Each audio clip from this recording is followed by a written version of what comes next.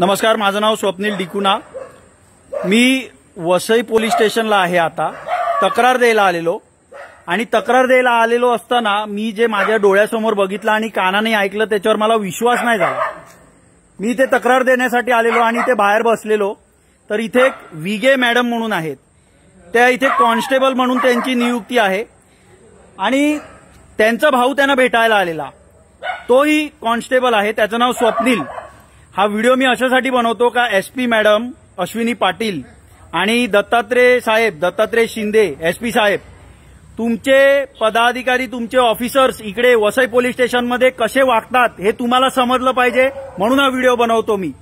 हे दोघे जाणे हे जे विगे मॅडम आहेत आणि हा जो मुलगा स्वप्नील हे दोघे इथे विदाऊट युनिफॉर्म युनिफॉर्मवर नव्हते आणि मला पोलिसांचा रुबाब दाखवत होते. ती विगे मॅडम आहे ती आता ड्युटीवर आहे परंतु ती युनिफॉर्ममध्ये नव्हती.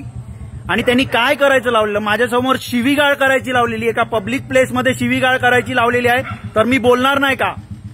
कायद्याने मला पूर्ण हक्क दिलेला आहे का? पब्लिक प्लेसमध्ये तुम्ही शिवीगाळ करू शकत नाही. आणि त्याचा जर मी विरोध करत असेल तर त्याच्यात माझी काय चुकी आहे का?